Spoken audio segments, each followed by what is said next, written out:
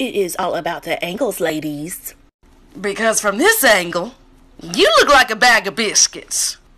This angle, you gonna be forever alone. But if you go for this angle, all the men gonna be like, duh.